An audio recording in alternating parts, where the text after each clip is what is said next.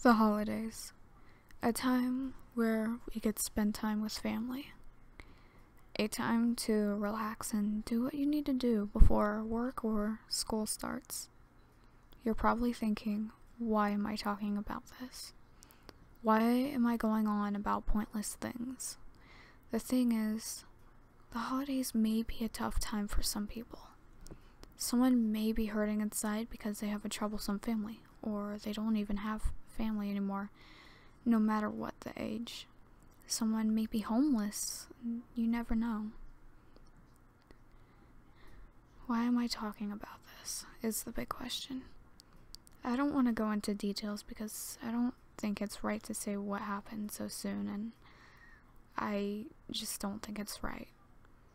My point is, someone, some of us, may be hurting inside. And maybe a hug or a early Christmas gift will lighten up their day. Some of us are fragile creatures. They may be already miserable. And if you say something as a meme or a joke to them, they may not take it lightly if they are not in a good mind state. Please, show some kindness this year. Bake some cookies and hand them around. Maybe a simple kind action will save a life, and maybe even give them hope. Have a good day, and have a good holiday.